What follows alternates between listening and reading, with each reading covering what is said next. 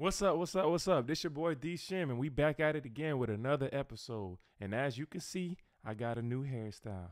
So you know what that means. I'm feeling real good today. But today we back at it with another episode, and I'm gonna be showing you guys how y'all can save a lot of time by switching to FL Studio 21.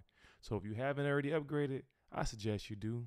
All right, let's get straight to it. Okay, so if you made a mistake in the past on any version before FL Studio 21, you would have to push Command Z or Control Z depending on the operating system you're on. But if you wanted to keep going back, you would have to add a modifier key like Option or Alt. But now in FL Studio 21, all you have to do is push Command Z and keep pushing Command Z to keep going back. And yeah, that's it.